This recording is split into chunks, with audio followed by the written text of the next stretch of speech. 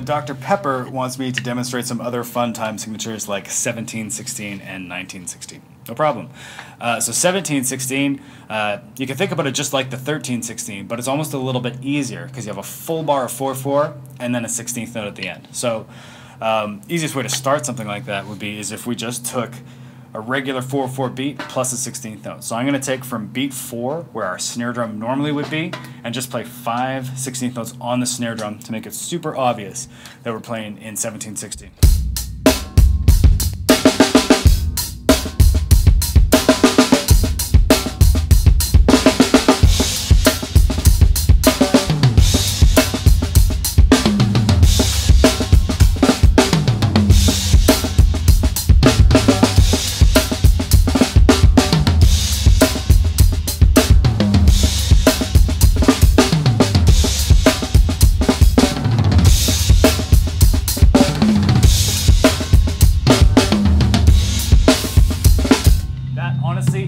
Doubles. So if I'm going.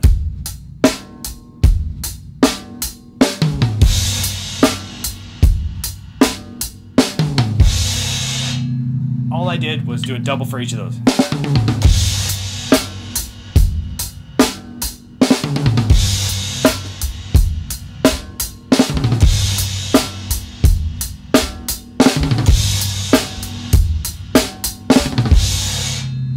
Those anywhere. You can start them with whatever hand.